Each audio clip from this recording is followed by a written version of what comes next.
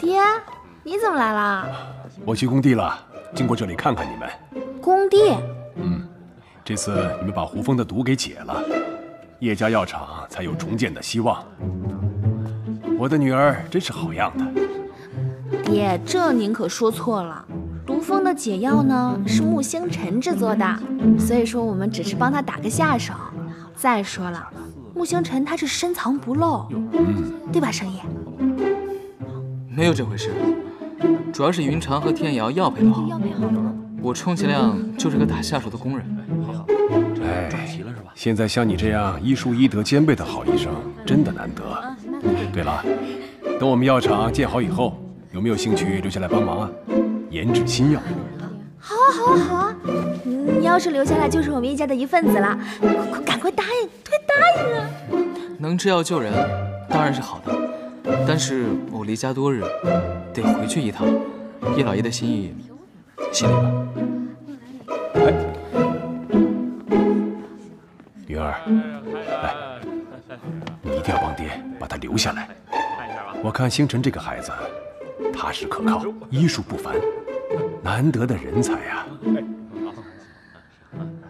哎，小妈都要把我嫁出去了，我哪还有脸留人家呀？嗨，这还不简单？爹帮你解决掉。嗯，还是爹最好。爹，你放心吧，没有我的吩咐，兽医敢回去？兽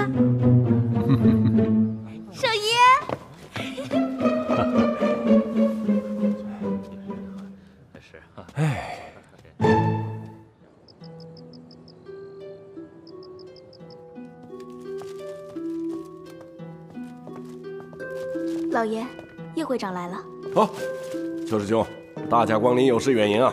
来，请坐。好好，请请请。震天，快出来。震天。啊，岳父大人，有失远迎啊。啊。其实我今天来，是想说一下我们两家的事情。邱师兄，有话直说。哎，需要置办什么彩礼啊？我们都答应。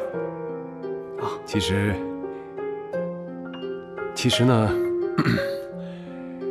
哎，我就直说吧。其实你们都知道，云儿从小就性情顽劣，不爱受管束。现在年纪尚小，我觉得不太适合谈婚论嫁。所以今天来，希望贤侄能另选良缘，不要耽误了终身大事。你是来退婚的？哎，对对对，都要怪我夫人也不事先跟我商量一下。那这些都是她收下的聘礼，今日如数奉还。呃，我就先告辞了。